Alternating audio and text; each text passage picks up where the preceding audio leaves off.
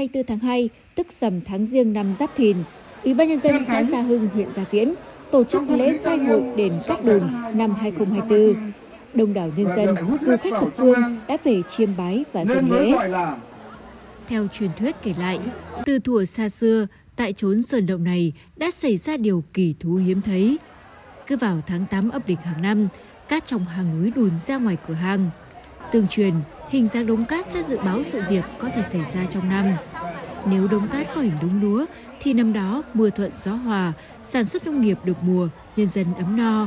Nếu đống cát hình con đê, dự báo hiện tượng có mưa to, lũ lụt.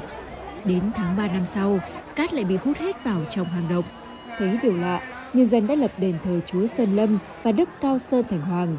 Đền được lập trên một hốc đá, phía dưới là hang sâu, đến nay vẫn còn hiện hữu. Nơi đây hiện có lưu giữ được nhiều cổ vật có giá trị văn hóa, đặc biệt là bộ cổ vật khiết đùn từ 36 quẻ, viết bằng chữ Hán Nôm, khắc trên gỗ thị, niên hiệu Bảo Đại Ngũ Niên. Lễ hội Cát Đùn được tổ chức vào rằm tháng riêng hàng năm. Với hình thức tổ chức trang trọng, thành kính, lễ hội đã thu hút đông đảo nhân dân trong vùng và du khách thập phương về chiêm bái, dừng lễ cầu cho một năm mưa thuận gió hòa, mùa màng tươi tốt, cuộc sống ấm no, an bình, khỏe mạnh. Việc tổ chức lễ hội hàng năm cũng đã góp phần bảo tồn và phát huy truyền thống lịch sử văn hóa của dân tộc, đồng thời quảng bá tiềm năng, thế mạnh về kinh tế xã hội, những nét văn hóa đặc sắc, những di tích, danh lam thắng cảnh của đất và người Gia Hưng.